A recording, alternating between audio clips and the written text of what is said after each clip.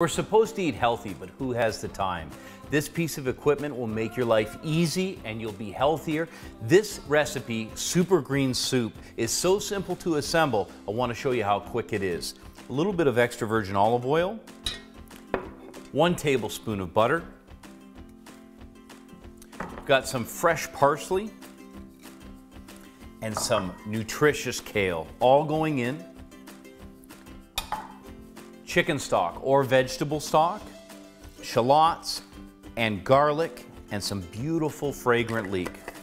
All of this is gonna go onto the stove. I'm gonna bring it to a simmer, a little bit of pepper, a little bit of salt. Now that my soup is slightly cooled, it's ready to plate.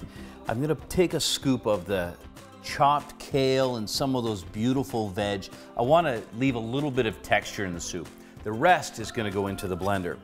I'm gonna use the blending blade you can see how easily that goes on the base, onto the mount, and again, really simple mounting. And I'm gonna put some of the heavier chopped pieces in the bottom first. This is warm, so don't use hot liquid.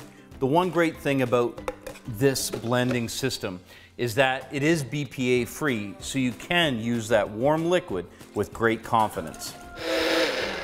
Now that the soup has come together nicely, I can conveniently hang on to this. It's got those grooved sides. Pour that over my finished soup. I'm adding that lovely cream. It's just perfect. A little seasoning to finish, a little bit of black pepper, and a tiny little bit of salt. Don't forget, you could just as easily put this in the to-go cup, take it with you, and you've got a nutritious and healthy alternative